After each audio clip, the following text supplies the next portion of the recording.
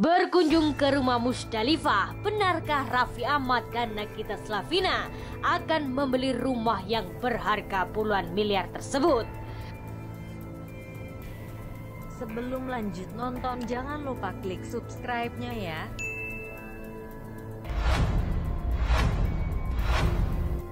Belum lama ini beredar info jika Musdalifah akan menjual rumah megahnya. Kabar tersebut pun rupanya bukan isapan jempol belaka. Kabarnya Musdalifah sudah menawarkan ke beberapa orang yang berminat tinggal di hunian besarnya yang mirip istana. Salah satu diduga ke pasangan kondang Raffi Ahmad dan Nagita Slavina. Bahkan belum lama ini Fadel Islami nampak mengunggah kebersamaan dengan keduanya saat silaturahmi ke rumah. Dari foto yang Fadel Islami posting kedua keluarga itu terlihat sedang asyik menikmati hidangan di rumah makan Musdalifah yang nampak klasik namun elegan.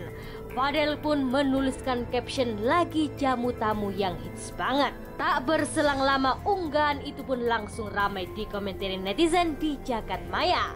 Banyak warganet yang berkomentar bahwa kedatangan Raffi Ahmad dan Nagita Slavina ke rumah Musdalifah bukan hanya sekedar silaturahmi, melainkan untuk menawar harga rumah. Ya, seperti yang belakangan ini di perbincangan publik, rumah Musdalifah dibanderol dengan harga fantastis yakni 45 miliar. Tak heran karena rumah tersebut begitu luas bak istana.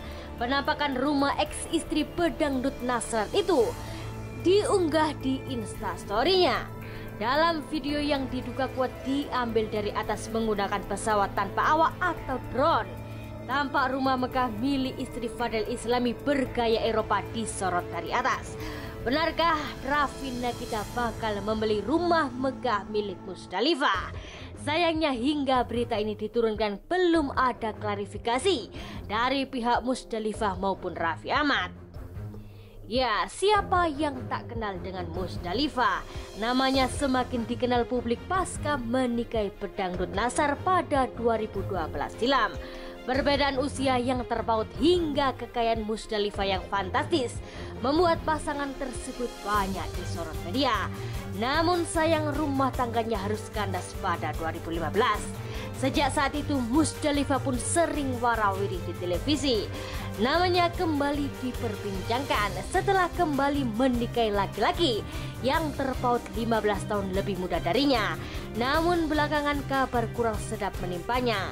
Banyak kabar berkembang bahwa dirinya memang tengah bangkrut hingga harus menjual rumah. Waduh, bagaimana pemirsa? Apakah Anda tertarik untuk membelinya?